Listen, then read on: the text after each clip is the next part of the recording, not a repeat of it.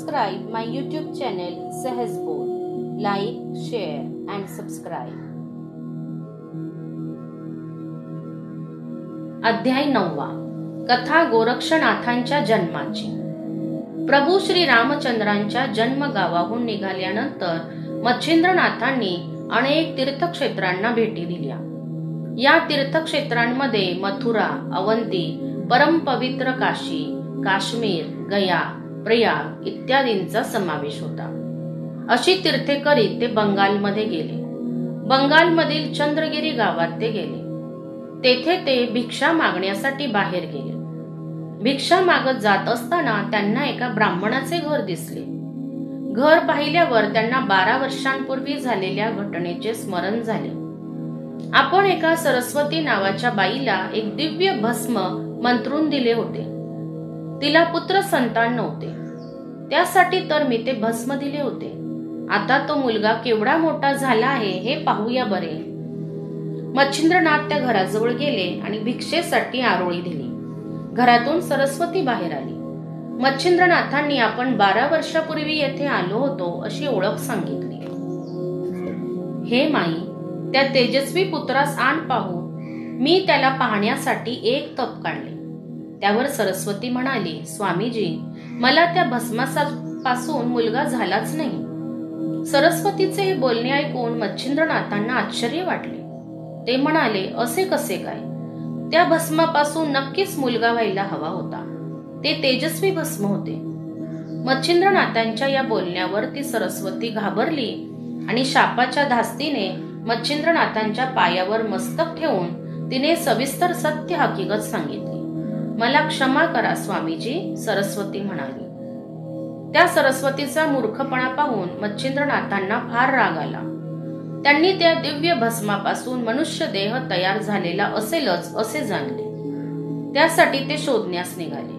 सरस्वतीस ते भस्म फेकून दिलेली जागा दाखविण्याची विनंती केली. आणि तिला म्हणाले हे माई तू स्वतःच्या पायावर कुऱ्हाड मारून घेतली आहेस. अशी सुवर्ण संधी सतत येत नाही बरं का? ते रागाने ओरडले.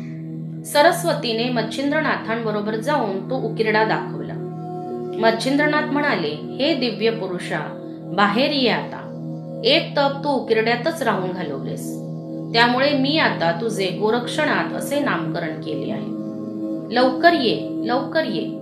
उकिरड्यातून शब्द आले हे गुरुदेव प्रथम आपणास कोटी कोटी प्रणाम. मी एकदम आतमध्ये अडकून बसलो आहो. येथील राखेचा मोठा ढीक कृपया बाजूला सारा आणि मला बाहेर काढा. मच्छिंद्रनाथांनी राखेचा मोठा ढीक बाजूला सारला. आत पाहतात तर काय गोरक्षणात आत होते. त्यांना बाहेर काढले. त्यांचे रूप मनोहर होते. ते दिसण्यात अत्यंत तेजस्वी होते. जणू काही राजस सुकुमार मदनाचा पुतळाच होता. सरस्वतीस चांगल्या मुलाची आई होण्याचे भाग्य न लाभल्यामुळे ती रडू लागली. तिला खूप वाईट वाटले. सरस्वतीस मच्छिंद्रनाथ रागाने म्हणाले जा मूर्खे तुला आता हा मुलगा मिळणार नाही. इतर मूर्ख स्त्रियांवर विश्वास ठेवून स्वतः स्वतःचा नाश करून घेतलास. जा निघून जा येथून क्षणार्धात. नाहीतर मी तुला शाप देईन. शापाच्या भीतीने सरस्वती पळाली. गोरक्षनाथांनी प्रथम आपल्या गुरूंना साष्टांग नमन केले. गुरूंनी त्याला ओंकाराचा उपदेश केला. इतरही अनेक उपदेश केले. त्याला नाथदीक्षा दिली आणि त्याला घेऊन ते पुढील तीर्थयात्रेस निघाले. तीर्थयात्रा करत करत ते कनकगिरी नावाच्या एका गावी आले. तेथे दोघांनीही फार भूक लागल्यामुळे भिक्षा मागण्यासाठी मच्छिंद्रनाथांनी आपल्या शिष्यास म्हणजे गोरक्षनाथांना भिक्षा मागण्यास पाठवले. त्या गावातील एका ब्राह्मणाच्या घरी वडिलांचे श्राद्ध होते. म्हणून अनेक पक्वांनांची मेजवाणी होती. गोरक्षनाथांनी भिक्षेसाठी आरोळी दिली. तेव्हा त्या घरातील गृहिणीने स्वतः बाहेर येऊन अनेक पक्वांनांची भिक्षा गोरक्षनाथास दिली. त्या तेजस्वी मुलास पाहून त्या स्त्रीस धन्य वाटले. आता दोघांपुरते अन्न मिळाल्यावर आणखी भिक्षा कशासाठी असे मनात मानून ते गुरूंजवळ आले. आणि सर्व अन्न मच्छिंद्रनाथांसमोर ठेवले. एवढी मेजवानी पाहून मच्छिंद्रनाथांना आनंद झाला. सर्व जेवण मिटक्या मारीत जेवले पण त्यांची वड्यावरची इच्छा पूर्ण होईना. गोरक्षनाथांनी ओळखले की आपल्या गुरूंना काहीतरी अजून एखादा पदार्थ हवा आहे. तेव्हा गोरक्षनाथ म्हणाले गुरु महाराज आपल्या चेहऱ्यावर अजून आपणास कोणत्या तरी पदार्थाची इच्छा आहे असे वाटते. कृपया सांगा. यावर मच्छिंद्रनाथ म्हणाले होय वत्स तू बरोबर ओळखलेस. मला हे मेजवानी युक्त जेवण खूप आवडले पण मला त्यामधले वडे खाण्याची अजून इच्छा आहे. ते खमंग चटकदार खुशखुशीत वडे पुन्हा खाण्याची खूप इच्छा आहे. यावर गोरक्षनाथ म्हणाले आपली इच्छा आणि ती शिष्य पूर्ण करणार नाही असे कधी होईल का? थांबा मी आताच जाऊन आपल्यासाठी ताबडतोब वडे आणतो. गोरक्षनाथ पुन्हा त्या गृहिणीच्या घरी गेले आणि वडे मागितले. तेव्हा ती गृहस्वामिनी म्हणाली अरे लबाडा तुला हवेत काय वडे? आणि गुरूंवर नाव ढकलतोस काय? जा येथून तुला वडे मिळणार नाही.